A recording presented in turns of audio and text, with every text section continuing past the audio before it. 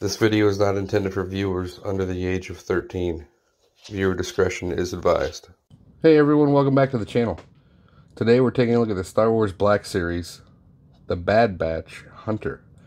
This is number one in the line, and uh, he is the leader of the squad, so it's only appropriate.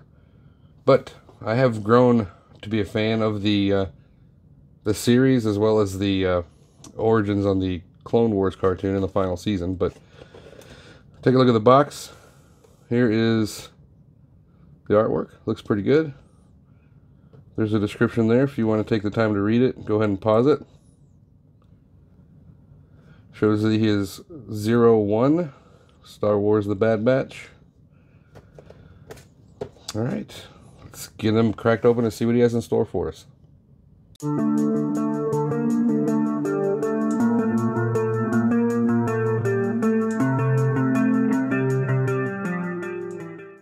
And here we have Hunter out of the package.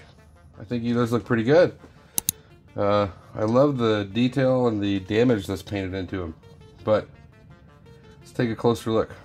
Now, I will put a image from the cartoon right here, just for comparison. I think they did pretty good. I think the colors are a little off, but it's not bad. I do love the skull painted on the bandana. Nicely done eyes.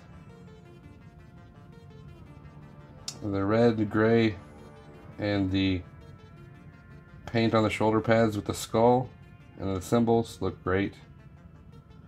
It's not just straight plastic. There is lots of battle damage. As you can see on the torso, lots of scraping, grinding everywhere. Same as for on the arm. Nicely detailed we got communicators and other gadgets built into the armor. Look really good. Coming down the torso.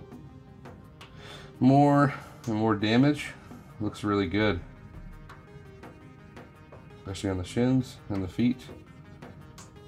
Knee pads and feet really could have used some paint. They're just swirly plastic, but they are detailed with that battle damage. I think they look good. Taking a look at this arm, you got more battle damage, and you do have his holster for his knife on his forearm, which looks really good, nicely detailed. As far as articulation, really good. Lots of up and down, lots of attitude. So, great there. I do like the shoulder pads do move with the figure. So you can move the arm without having to worry about that being a problem getting in the way.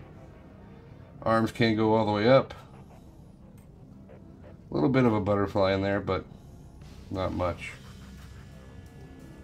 All the way around.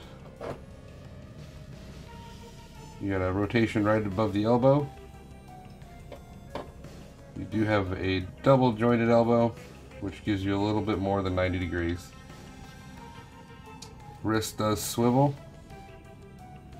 This hand has the in and out, while this hand has the up and down. Otherwise, it's the same. It does have an ab crunch, which works pretty well, honestly. Standard hips, with the armor on, you get out to there. You can kick that far up, only that far back. You do get a double jointed knee, but with the armor, it only takes you that far. And kneecap is fixed. Then you do have a swivel below the leg, uh, below the thigh. Feet, up and down, rocker, they look really good. So overall, nicely articulated. Let's bring in his accessories. You do have the backpack, which is nicely detailed again with battle damage, red, black, and gray accents. It looks good. It's a shame that there's no weapon storage on here though. But that does peg into the back rather nicely. Nice and secure. We do have his helmet, which is tremendously painted.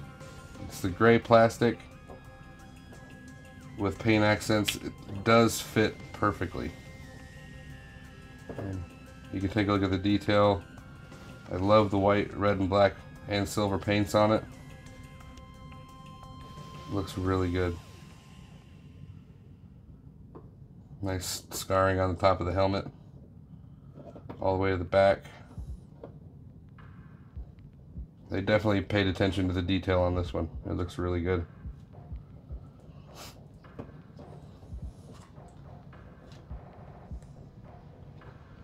We'll bring in his little pistol, which nicely detailed also.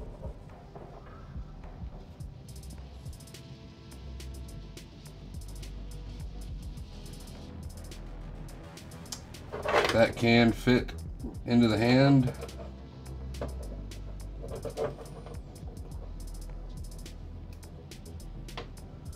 Both hands do have trigger fingers, so actually I take that back. This hand has a trigger finger, this hand does not. But he can't hold it in either one. He also comes with his blaster. Looks good.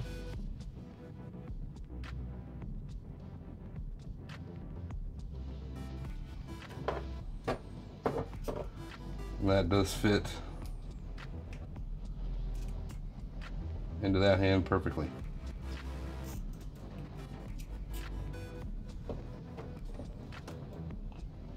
And then lastly we'll bring in the dagger, which I do enjoy because it has the the laser effect going through it. Painted silver, looks good, nicely detailed, as, as all of these accessories are. They definitely paid attention to the show for this one. And for this, you have the option, you can store it in the sheath on his forearm, or you can have him using it.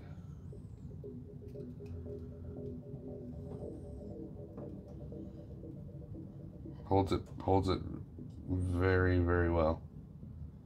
So overall, I have to say they definitely did do the character some justice with this figure. Uh, those that enjoy the show, I feel would definitely enjoy the figure that goes along with it.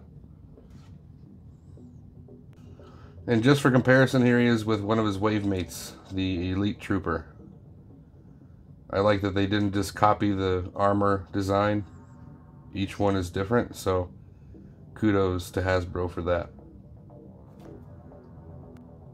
Final thoughts on the character? I gotta say he looks tremendous. I love the uh, paintwork, sculpt work, everything looks great. The only flaw that I can find is just the lack of storage for that pistol. It's got a whole backpack, but you can't use it for anything. But that being said, I did pick this guy up at Target. Keep an eye out because they are out in the wild. And uh, I do recommend it. I hope to see you again next time. Thank you for watching.